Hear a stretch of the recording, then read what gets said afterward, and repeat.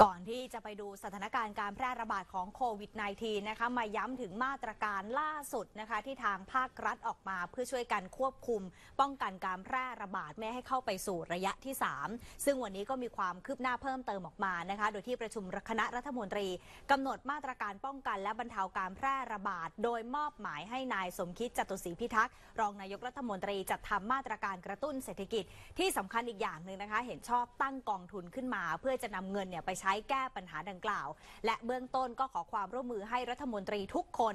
สมทบเงินเดือนครับเข้ามาช่วยเหลือ เบื้องต้นเนี่ยก็คือคนละหนึ่งเดือน อืม แต่ว่าทั้งนี้ทั้งนั้นก็ขึ้นอยู่กับกำลังของแต่ละคนด้วยนะคะ ทีนี้ก็เลยจะพามาดูอัตราเงินเดือนของคณะรัฐมนตรีที่มีรัฐมนตรีทั้งหมด 36 คนค่ะ เริ่มตั้งแต่นายกรัฐมนตรีนะคะ นายกรัฐมนตรีเงินเดือน 75,590 บาท รองนายกรัฐมนตรีเงินเดือน 74,420บาท รัฐมนตรีว่าการกระทรวง รัฐมนตรีประจำสำนักนายก เงินเดือน 73,240 บาท รัฐมนตรีช่วยว่าการกระทรวงเงินเดือน 72,026 บาทค่ะซึ่งนอกจากเงินเดือนอันนี้คือฐานเงินเดือนก่อนค่ะนะครับนอกจากเงินเดือนที่ท่านเอ่อนายกรัฐมนตรี และรัฐมนตรีรัฐมนตรีช่วยได้รับแล้วนะครับ ยังมีเงินประจำตำแหน่งด้วยนะครับ อย่างเช่น นายกรัฐมนตรีเนี่ยจะมีเงินประจำตำแหน่งตำแหน่งบวกเพิ่มเข้ามาอีก 50,000 บาท รองนายกรัฐมนตรี 45,500 บาท ส่วนรัฐมนตรีว่าการกระทรวงเนี่ยอยู่ที่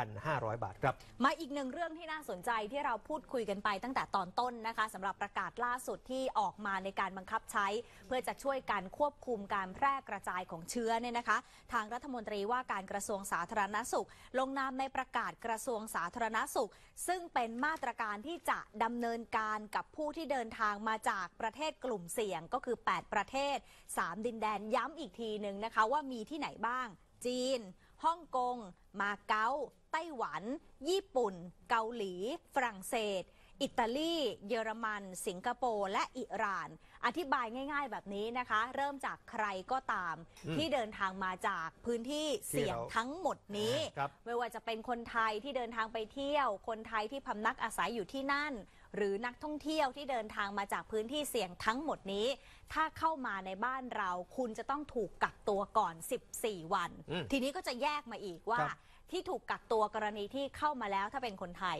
อ่า ไม่มีไข้อืม อะมาเป็นปกติ อุณหภูมิร่างกายปกติไม่มีอาการอะไรเลย แต่ถ้าคุณมาจากพื้นที่เสี่ยงทั้งหมดนี้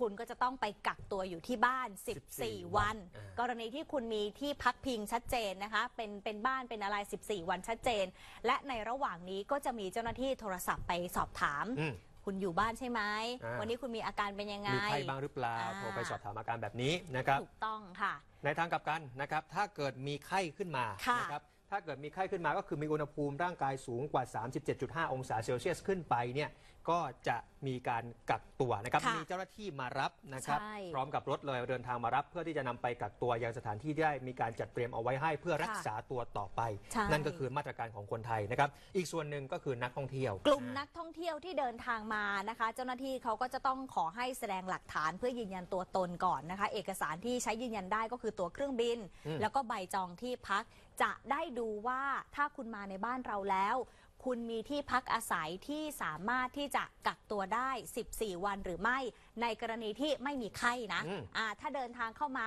ร่างกายของคุณอุณหภูมิร่างกายปกติ ก็ให้เจ้าหน้าที่ดูที่พัก 14 วันไหมเพราะยังไงคุณเข้ามาปุ๊บยังไปเที่ยวไหนไม่ได้ กักตัวก่อนเลย ต้องไปอยู่ในที่ที่พักก่อนนะคะ เพื่อให้เจ้าหน้าที่เนี่ยติดตามอาการว่ามีอาการหรือไม่นะคะ อืมนะครับ แต่ถ้ามีอาการปุ๊บก็อย่างที่คุณสอกรกฎบอกไปก็จะเข้าข่ายเหมือนกันว่า เขาจะมีเจ้าหน้าที่หน่วยงานทางด้านสาธารณสุขเนี่ยมารับไปตรวจรักษาทางการแพทย์นะคะ ก็จะนำตัวไปเลยทันทีเหมือนกันอ่านะคะ ทีนี้หลายคนก็ถามว่าเอ๊ะแล้วค่าใช้จ่ายที่เกิดขึ้นตรงนี้ใครค่ะจะเป็นคนจ่ายนะครับโดยมีการระบุนะครับว่าค่าใช้จ่ายทั้งหมดในการที่จะเข้าเอ่อรักษาต่างๆนะครับในการควบคุมตัว 14 วันนะครับค่ะ กักตัว 14 วันเนี่ย